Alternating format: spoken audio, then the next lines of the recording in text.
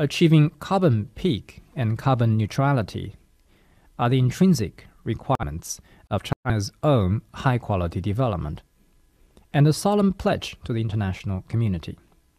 China will honor its word and keep working toward its goal. We have unveiled an action plan for carbon dioxide peaking before 2030, to be followed by implementation plans for specific sectors such as energy, industry, and construction.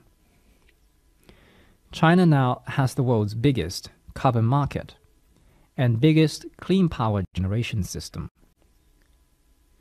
The installed capacity of renewable energy has exceeded 1 billion kilowatts, and the construction of wind and photovoltaic power stations with a total installed capacity of 100 million kilowatts is well underway.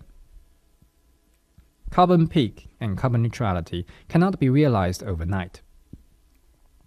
Through solid and steady steps, China will pursue an orderly phase down of traditional energy in the course of finding reliable substitution in new energy.